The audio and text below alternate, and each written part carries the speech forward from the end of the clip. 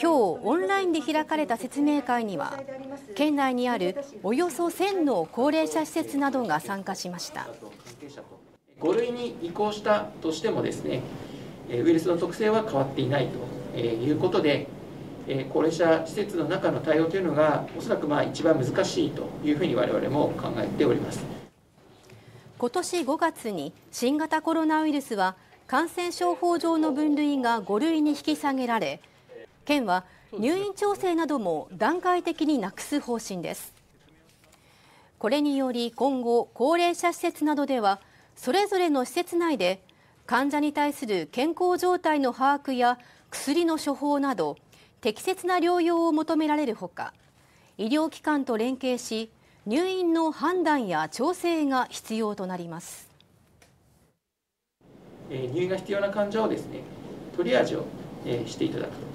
もし入院が必要だったら協力医療機関と直接ですね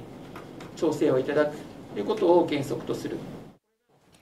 今日の説明会で県は今後の医療提供体制の変更点やそれに伴い施設側で準備すべきことなどを共有。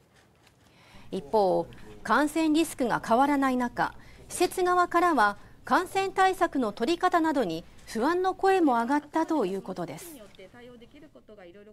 経験を生かしていきたいという話を聞きましたので、いい経験をですね県としても広げながらですね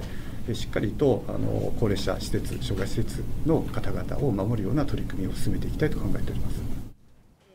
県は今後も高齢者施設などに向けた説明会のほか感染対策に関するセミナーなどを開く方針です。